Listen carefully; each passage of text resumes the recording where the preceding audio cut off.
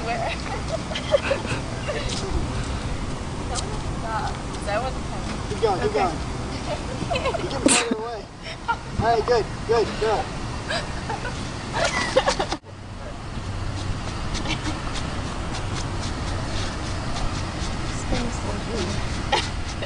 you're moving to my left. You're going so fast. Okay, you're going a lot faster than I was. Go back.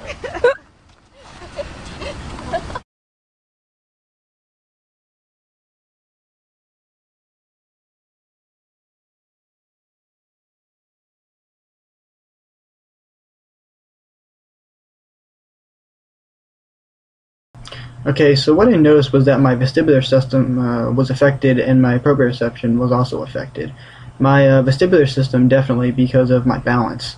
Um, I was having a lot of trouble standing and moving around, and uh, as you can see when I'm running after the ball, I start to fall to one side.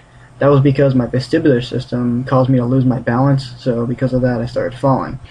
My uh, proprioception was also off because I couldn't see very well. The whole outside was just spinning, and I could only make out colors. I couldn't really tell how far away things were or um, what they were because everything was just swirling. It was all just different colors going by.